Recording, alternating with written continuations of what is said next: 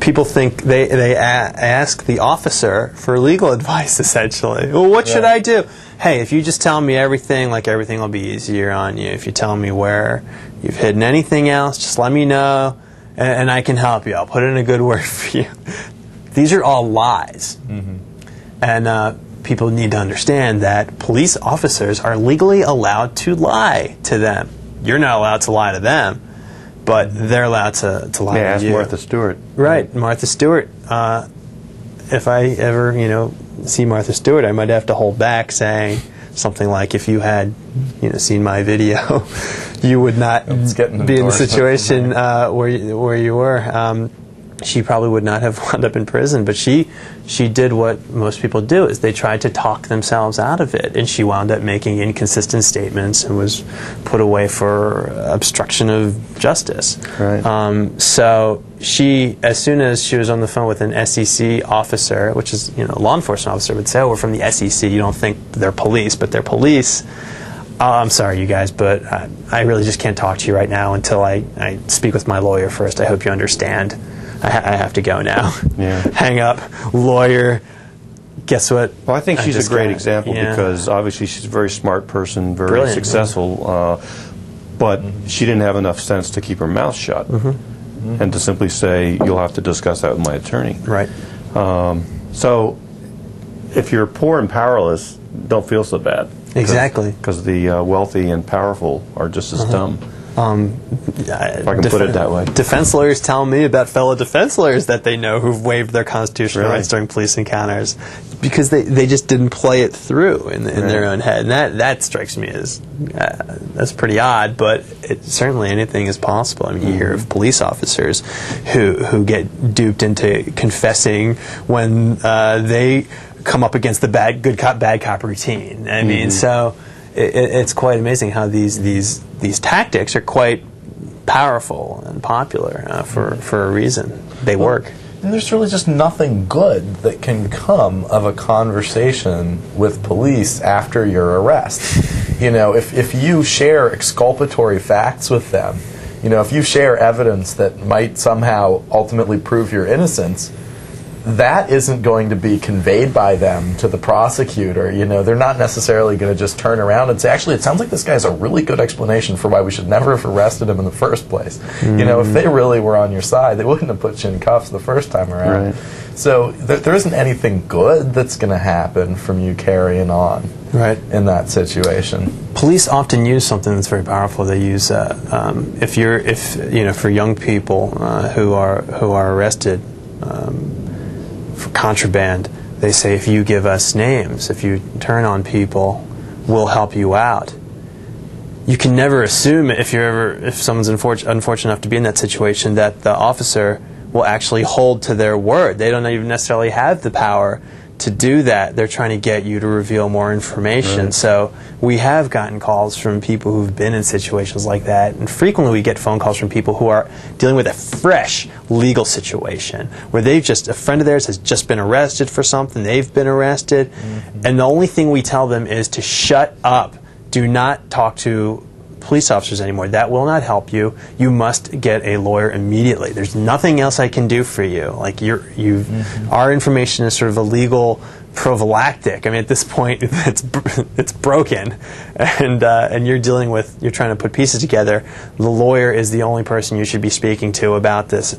You know, do not talk to do not talk to any more police officers at this point. You know, if you've already done a lot of damage. Um, you can only dig yourself into a deeper hole by continuing. Well, I guess uh, that goes back to a myth that we're all tend to be taught as children, perhaps if you're not a, a black child, but uh, that the police are your friend, right? The police are there to help you, and um, and in fact, that may be true in theory, but in, in in practice, if you're engaged in doing something like living, that may not always be the case. They may just have not I don't want to say an agenda, but you know, I mean, they have certain goals and they have certain mindsets uh, in encounters, and um, and you have to look at it as an adversarial situation because when you get into the legal system, and as soon as you touch a cop, you're into the legal system. It Certainly. is an adversarial situation. Um, that's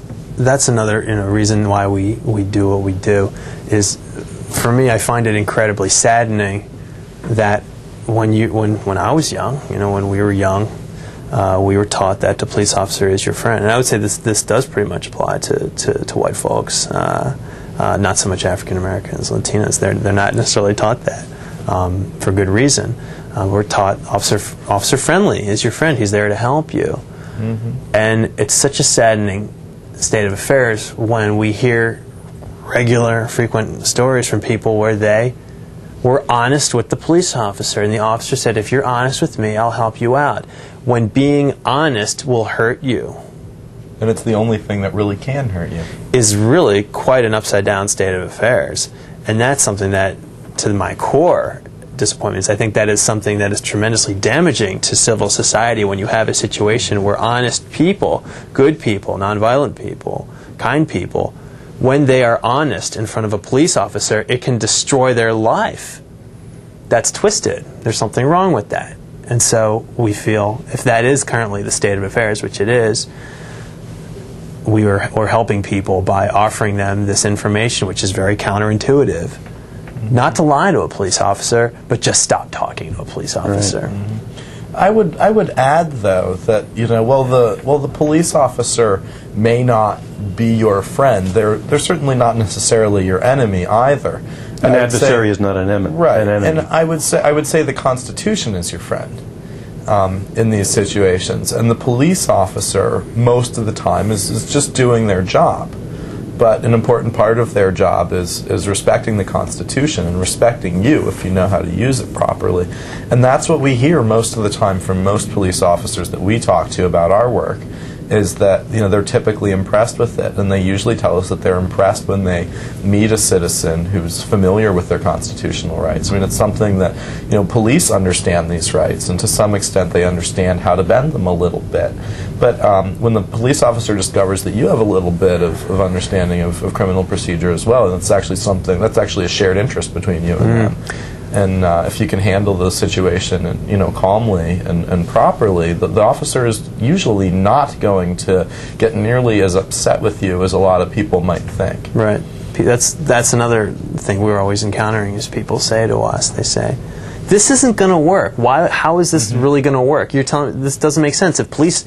And this is another myth. If police want to search you, they're just going to search you. Police can do anything they want. There's this there's this false view of the abso- absolute power of police. It's just not true. They've got so many uh, laws and regulations regulating what they do. And of course, the highest law of the land is the Constitution um, that they have that they are that they take an oath to uh, abide by. So when we tell, you know, we instruct people to say, if you say to an officer calmly, "Officer, I do not consent to any searches," they're gonna hesitate because they're going to be thinking that you are mm-hmm. either a lawyer or a son of a lawyer. Or a son of a police officer, or daughter uh, of a police officer or lawyer. They, I they- think that you're part of the family, Yeah. so you're you're mm-hmm. you're, you're on a ahead. different level, man. Like Yeah. they are going to approach with caution mm-hmm. when you say things like, "Am I free to go, officer? Why are you detaining me?" You're going to get a very different reaction uh, from them, and they're going to they're going to be much more deferential if you're calm uh, when you deliver these lines. And there are officers out there that are ready to bend these rules. I mean, you know, people, you know, who who are very pessimistic about following our advice are not completely off. You know, uh, what police often refer to it as as uh, the bad apple problem. You know, that there's a small percentage of officers out there that really are ready to bend these rules and, and ready to to abuse their power for their own personal benefit or for, or for whatever reason. And you know, we don't deny that there are officers out there that, that perhaps won't respect your rights. But if you're going to encounter someone like that, it's better that you know your rights, and it's better that you assert them so that when you end up in court, if you end up having to file a civil rights lawsuit, uh, it's not going to work if you waived your rights. Right. So the fact that there are all of the, you know, that there are, uh, you know, a few too many, you know, pretty dirty cops out there, and you know, we hear about them from time to time. They're not the majority, but they do exist. And the way to deal with that problem is to assert your rights just as you would when you're dealing with the most professional and respectful police officer on the street. Okay, uh, I had a, a note about under myths ID. Um, yeah, that's that's an, another one that um, that the ID issue really gets you know trickier and trickier all the time. The, the recent Supreme Court decision in in Hiibel uh, was an, another unfortunate one. But you know, a lot of people believe that uh, if an officer asks to see your ID, that you have to give it to them, and beyond that, uh, that you have to have an ID to give to them, uh, which is also a myth. That essentially. Um, you don't you're not obligated to carry any ID of any kind unless you're driving an automobile or trying to get into an airport or or that kind of thing and we have some friends who aren't exactly thrilled about some of those regulations although um, you know it's it's important for uh, for people to understand that in fact according to Supreme Court precedent the only time that you can actually be compelled to identify yourself to police. Identifying yourself meaning saying what your name is, um, honestly, whether or not you have a document to prove that.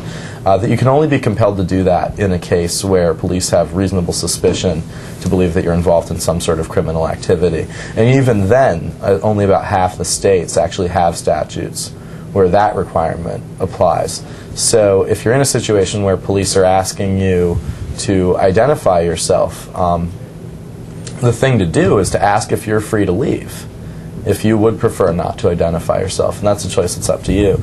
But ask if you're free to go, and if the officer says no, you are being detained, then you know that the officer believes that they do have some kind of legal authority to detain you. Mm-hmm. And in that situation, it's it's often going to make things easier for you if you do go ahead and, and tell them who you are. But I don't recommend that in every case. And if you have some specific reason to believe that revealing your identity in and of itself is not in your best interest, then you know go ahead and, and, and withhold that information and test the officer, see whether they really do believe that they've got something, some legal authority to hold you. Because if they don't, and they arrest you for refusing to disclose your ID, they're the one that's getting sued. Right. Um, something else that, that is important, that, you know, when we talk about all this is asserting your constitutional rights isn't necessarily going to always be the easiest thing to do. It often might take more of your time. It often might make the officer uh, a little bit upset with you, uh, especially an officer that is not respectful of constitutional rights. Um, so this is something we encourage people to do is you know to always assert their rights, especially if you know you have nothing uh, to hide. Is to test that is to it, by using you know and asserting your constitutional rights, you do strengthen them.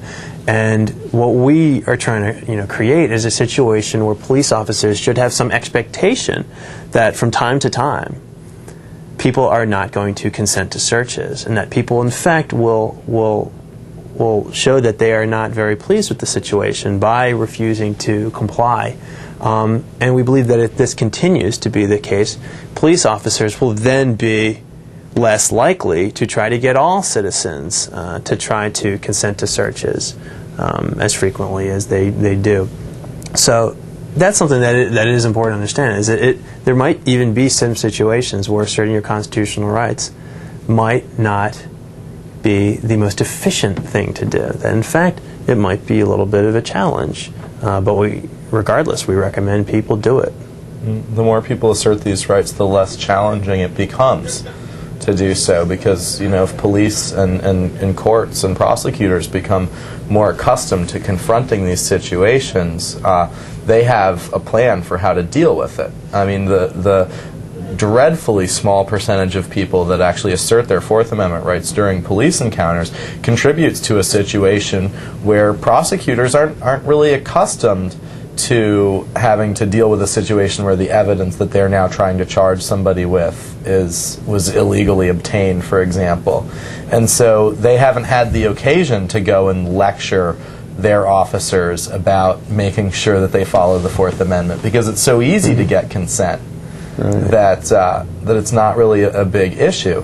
But um, uh, a friend of ours, uh, former Seattle Police Chief Norm Stamper, um, who had a, a lengthy career in law enforcement, um, tells a story of when he was a, a young officer um, who was very excited about going out and just busting everybody that he could.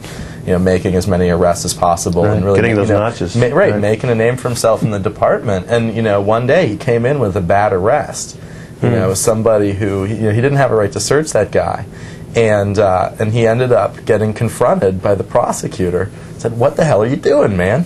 This isn't this isn't how we do it. I can't do anything with this case." Do, do you understand that, that you're supposed to be defending the Constitution? You're not supposed to be bending over backwards and pushing these rules around to, to bring people in. I can't do anything with this. You know, you've wasted my time. And and uh, Chief Stamper says that that was really a turning point for him, getting yelled at and and realizing that you know there was a balance here, and Right. he was part of part of a team of people, and that if he didn't follow the rules, it created problems for everybody else. And so, as citizens, if we start asserting our rights, we can actually start to force these other participants in the criminal justice system to deal with that fact. And I think that the more comfortable they become with it, the easier it becomes for people, you know, in the aftermath of this to, to also assert their rights as well and, and get the outcome that the Constitution promises them.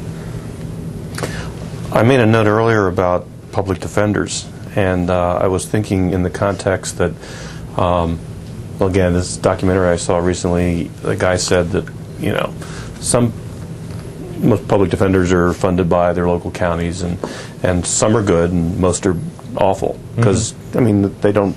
They're not being paid a whole lot for what they're doing. Whereas if you get a lawyer and you give him a check for five thousand dollars, he's going to do a lot more for you than a public defender. But I would say that that constitutes another myth, arguably, that public the myth that public defenders are crap.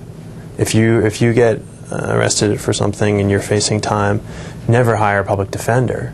You need to hire a, a private attorney because they're much better. Mm-hmm. This is a big mistake that many people uh, make, especially lower income people. I think really, really wind up getting screwed as a result of that I'm not saying mindset. they don't have any value at all, but Right. But in fact, public defenders are oftentimes fierce advocates uh, because they're they're doing this because this is what they really want to do. I mean, they really take much pride in their craft. Not only that, but they really do understand the ins and outs of the system and are better placed, oftentimes. they're Uh, having a lot of volume. They- Exactly. They, wouldn't do this miserable job if they didn't believe in it. So public defenders are are are good uh, for the most part. Of course, there's there's going to be a, a distribution uh, of talent like in any other field. Right. Uh, but the idea that you never want to hire a public defender is is wrong. yeah, I've it's cer- certainly that's not a, a categorical rule by any means. And in, in fact, there's there's been extensive research uh, conducted in, in this area, and, and my understanding is that that on the whole, if you look at, at the sentences that, that people you know bring back in terms of you know the ratio of you know convictions versus acquittals and so forth, that public defenders actually get the same quality results on If you the control whole for income. as as private attorneys. So, you know, just as there are you know public defender you know services out there that, that aren't up to par and that, that are are in many cases underfunded and so on and so forth. You know, it, it's also frequently the case that private attorneys will take on cases that they're not qualified to take. So you know, it really depends. And I mean, I've I have heard of of you know there have been cases where somebody actually you know went out of their way to avoid the public defender service and hired a private attorney, got convicted, and on you know on appeal had to argue, well, my private attorney was incompetent, you know, and they, they didn't know what what they were doing, and so. You know, it's it's something. If, if you're going to hire a private attorney, make sure that they know what they're doing. Right. Well, they specialize in criminal law. Right, precisely. and, and b- before uh, before rejecting the public defender, you know, learn a little bit about what the public defender service in your area is like. For example, here in Washington D.C., we have one of the best in the country. So the bottom line is keep your mouth shut till you talk to your public defender. Talk to Absolutely, talk to talk to a lawyer for sure. Right. Um, oh, something that uh, a point I wanted to make. Maybe you could show us when you're showing the T-shirts. Um, if you are wearing these T-shirts, if you are wearing a T-shirt that says "I do not consent to searches," it would be very difficult uh, for the police officer to try to convince a judge that you consented to a search. so point, this is going to be this is pr- tremendous uh, protection uh, in case you were ever in that situation. Uh, sure. It's irrefutable evidence. Well, voluntariness is, uh, is the term for that. You know, if you're arguing a, a motion to suppress evidence, for example, you know, and then the, the officer says, "Oh yeah, he consented to the search," you know, or he didn't he didn't say or do anything when I started searching. I mean, it can be kind of a tricky situation, but obviously, if your shirt says you don't consent to searches, and uh, and you were photographed. Possibly wearing that shirt, Right. On, Particularly if you're going like this, back right? to the sta- to the station. Um, and you can attest to the fact that you've watched uh, the film Busted, The Citizen's Guide to Surviving Police Encounters repeatedly, and you can have friends get on the stand and testify that you, in fact, are trained to refuse police searches. This will certainly help your lawyer out. Since we have been playing the busted video as part of our Don't Be a Knot show, it has come to my attention that there are some in the law enforcement community who have expressed the view that we should not be playing subversive stuff like this. They object to people being told how to protect their rights. This is precisely why this sort of training is important, imperative even. I know it's hard to believe, but there are actually people on the government payroll who, rather than protecting your rights, are content to keep you ignorant as they place you in cuffs. You should not need any more motivation to better understand your rights than this. For Common Sense, I'm Mike Nixon, Sic Semper Tyrannis.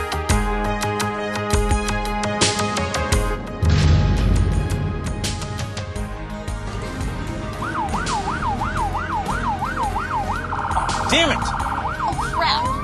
Oh, this really sucks. Everyone chill out and we'll be fine. Is everything put away? Most avoidable police searches occur not because police have probable cause, but because most people, like Daryl, get tricked or intimidated into consenting to search requests. Now let's repeat what could be the three most important lines you may ever have to deliver in your entire life. Officer, I do not consent to any searches. Officer, am I free to go? Officer, I have nothing to say until I speak with my lawyer. If you've been paying close attention throughout this video, you're now a more intelligent citizen and are more prepared to protect yourself and assert your constitutional rights during police encounters.